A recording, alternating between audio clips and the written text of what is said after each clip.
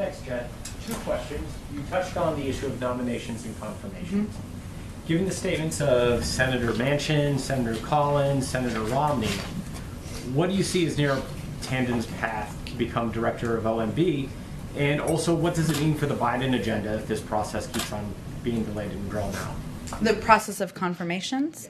Well, I, let me start with that. I would say that um, we experienced some uh, intransigence uh, during the during the transition, uh, some delays in processes that had previously worked at a more rapid pace. Our view is that we've hopefully moved past that. We've seen a number of our uh, nominees uh, move forward uh, over the past couple of weeks pretty quickly with large bipartisan votes, and we certainly welcome that. But we are eager to have our team in place. This week has a number of important hearings. There are a number of important votes this week. We would love to end the week with a Secretary of Education in place as an example, and certainly others as we uh, as we look to have the full team uh, and hopefully a full cabinet meeting at some point in the near future.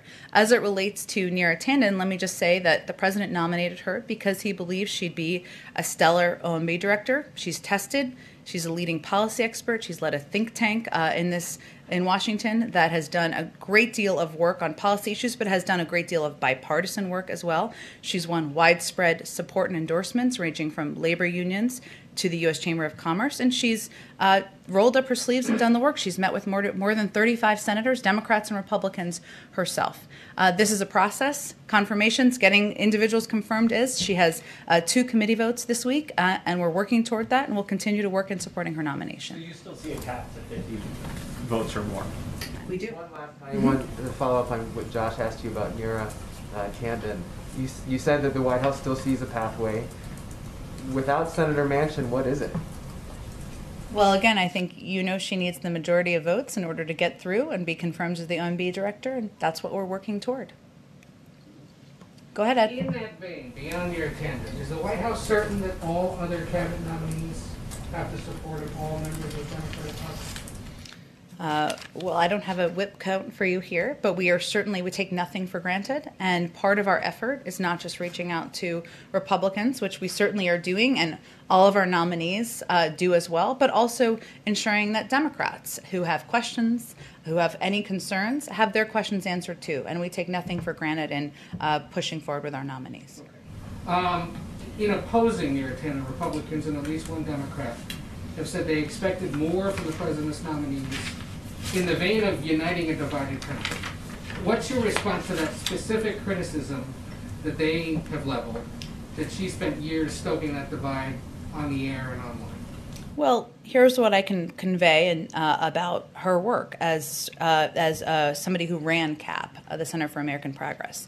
Uh, she worked with partners across the ideolog- ideological spectrum to develop consensus solutions to addressing the federal tax code, uh, to improving access to high quality educational opportunities. They partnered with AEI in that effort. She worked with, uh, led the effort to work with um, FreedomWorks uh, and others on the R Street Institute on uh, making progress on criminal justice uh, reform. And again, she met with 35 members of the Senate, uh, including Republicans. So she is willing and eager to meet with people who agree with her, of course, but also people who disagree with her. And what she brings to the table is not only decades of policy experience, but um, an expertise and leadership, again, of a, a major think tank in this uh, city, but also somebody who has lived experience. You know, she grew up as the daughter of a uh, single mother, somebody who benefited from many of the programs that she would be tasked with determining the, the recommendations on funding for. So uh, she has a record of working with members of both parties or views from both parties, uh, and uh, I, we have no doubt she would do that as budget director. on the COVID bill, um, build on what Caitlin was saying. I mean, the president, uh, he said that there was going to be a new tone in Washington. Mm-hmm. Uh, obviously, Manchin, Collins do not feel that this is a new tone. So, how does the president kind of square that, saying that he does want a new tone? We're going to have a new language, new no respect for everyone, and this you know, fire on the spot kind of policy, he said. Have you asked Pre- Senator Manchin and Senator Collins about whether they think uh, President Biden has a new tone?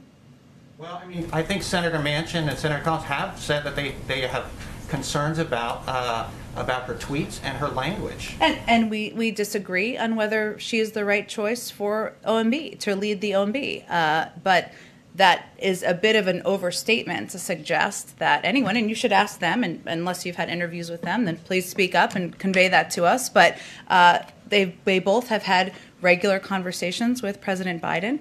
Uh, we, we look for, let me finish. We look forward to working with them on a range of priorities and issues, uh, whether it's the American Rescue Plan, whether it is uh, immigration, uh, addressing the outdated uh, immigration system, whether it is uh, foreign policy issues. And he'll continue to engage and have discussions with a range of senators, including people where he has And I think that's fair, but I think the question is, does the pre- is the president okay with the language and rhetoric that Neera Tanden has used in direction of other members of Congress, including some Democrats and especially Republicans? I think the fact that the president nominated her to lead the budget to be uh, running OMB reflects uh, his view that she's the right person to be in his cabinet, to uh, lead uh, the be overseeing the budget, uh, and that her qualifications, uh, her history of working across the aisle with people from different groups uh, who have different points of view, is a reflection of how she would uh, do that role. One more on Neera then I promise Sure. I'll move on to a different topic. Um, you said she's only met with thirty-five senators, is that correct? Is there, Oh, over at least 35, had over 35 meetings. is Mhm. there a reason she's not met with more? Has any GOP senator refused to meet with her? I, I don't think we're going to speak to, as we would in any case, um, who she's met to or give you get, get met with or give you a list of to protect the privacy of senators. But uh, 35 meetings with Republican and Democratic senators is actually quite a significant number of, of meetings in the process. But Uh, Okay, point taken, but if you look at how controversial her nomination is and in the context of your broader legislative agenda and other legislative items that will face an uphill battle in Congress, do you risk, uh, do you risk political capital by forging ahead with this, or do you see it completely unrelated? I look, I think uh, the president nominated Neera Tanden because she he felt she was the right person to lead the budget office um, because she has uh, decades of experience, uh, because she would bring fresh perspective to the job, uh, because uh, she has a record of working with uh, people from a range of organizations of different viewpoints. Uh, but you know, and we're gonna we, we remain committed to moving that process forward to a confirmation.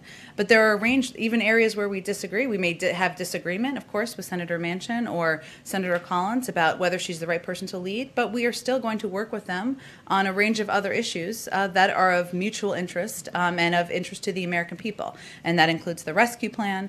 That includes, uh, you know, many components of the president's agenda moving forward. Go ahead.